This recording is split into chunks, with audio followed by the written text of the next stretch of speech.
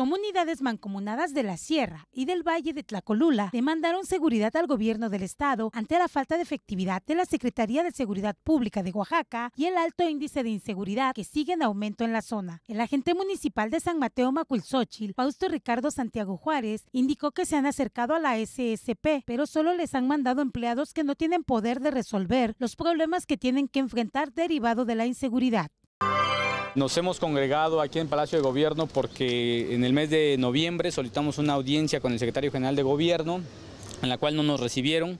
eh, nos dieron una fecha posterior y nos mandaron a empleados este, pues que realmente no tenían facultades ni tenían posibilidades de resolver los problemas. Eh, somos las comunidades de Santana del Valle, de Díaz Ordaz, de Teotitlán del Valle, de La Chatao, de San Mateo Macuilzóchil, de Santa Marta Latubi, de San Antonio Coajimoloya, de Benito Juárez, de Santiago Iztaltepec,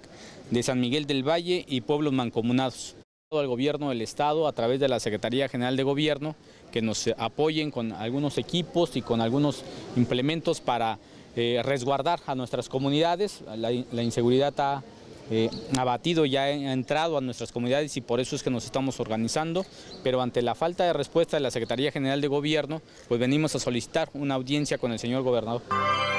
Señalaron que cada vez hay más robos a domicilio, asaltos a negocios y un sinfín de problemas que derivan de esta problemática. Y ante la falta de tacto de los servidores públicos para atender este tema, decidieron manifestarse en las puertas del Palacio de Gobierno para solicitar una audiencia con el gobernador del estado, Alejandro Murat Hinojosa. Como se recordará, en el pueblo de Macuilzóchil en el mes de noviembre pasado, pobladores enardecidos hicieron justicia por su propia mano en contra de dos personas que presuntamente momentos antes habían atentado contra un anciano para robar en su domicilio. En este caso, rociaron de gasolina a los dos sujetos para luego prenderles fuego. Los intentos de linchamiento en el estado son cada vez más frecuentes debido a la falta de efectividad de las autoridades para garantizar la seguridad.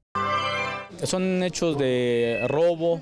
de homicidios, eh, a, los, a, los pueblos mancomunados le robaron una pipa, no ha habido atención, a, las comunidades han entrado a robar las casas y también generar desarrollo entre las comunidades. ¿no? Nosotros estamos interconectados y por lo tanto, y, la verdad es que el Valle de, de las comunidades a las que representamos, pues están abandonadas en su desarrollo y eso ha incluso tiene consecuencias pues en el tema de la seguridad, en el tema de la delincuencia y por eso necesitamos que el gobernador de manera personal nos reciba nosotros no podríamos determinarlo, lo tienen que determinar los especialistas en la materia, pero lo que sí es que, por ejemplo, en el caso de Macuilxochitl ha habido muertos, ha habido eh, cadáveres, en los pueblos han entrado a, asaltar a, a